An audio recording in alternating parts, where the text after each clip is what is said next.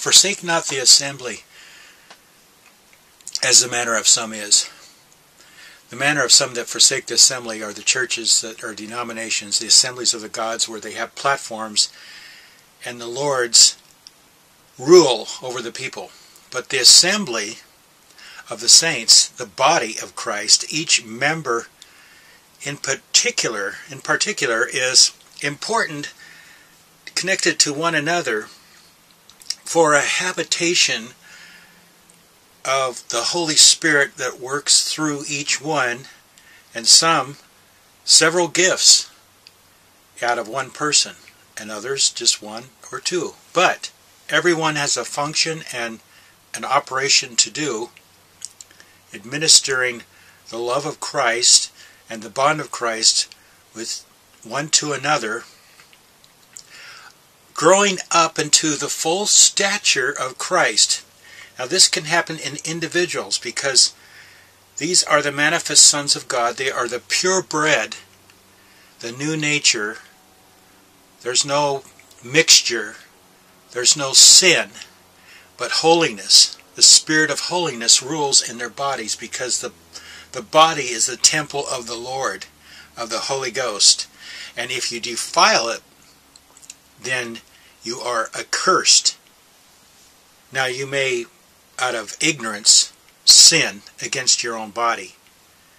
But you must repent under godly sorrow and call out for the mercy of God. It's not an automatic thing. We have to truly be sorry and we also have to obtain mercy from God. If it wasn't for the mercy of God, we would be as Sodom and like unto Gomorrah. Think about that. But those who despise holiness, those who despise the righteousness of Christ in a new believer, as they grow up, as they grow in grace, not in sin,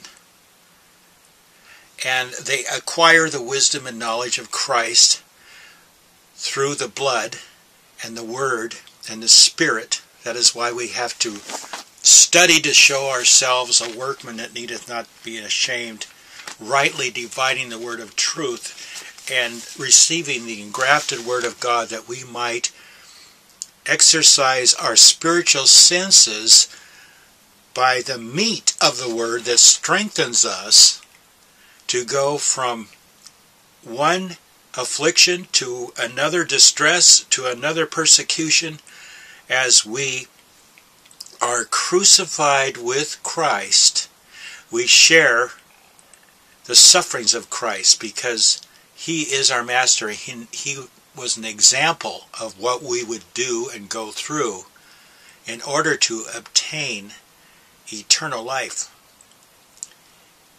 Jesus said, Blessed is he that endures, endures, endures to the end, for they shall be saved. No falling back into perdition, they don't count.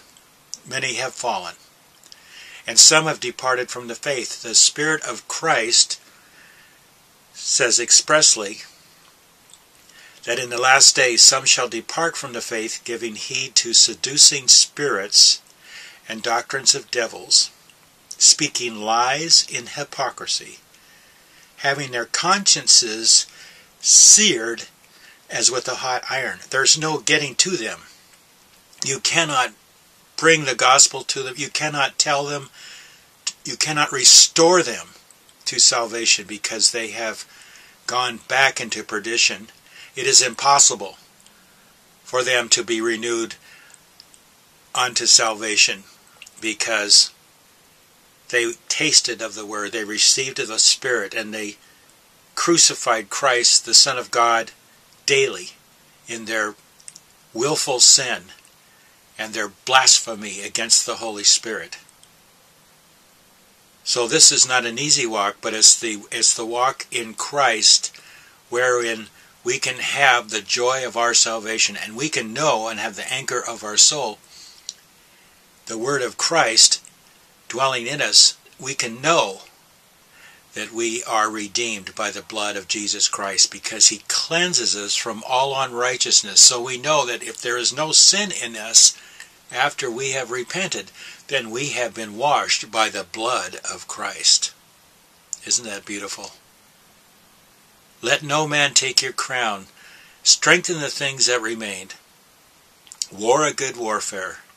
Fight a good fight. Remember, we wrestle not against flesh and blood, but against principalities and powers, rulers of darkness, spiritual wickedness in high places.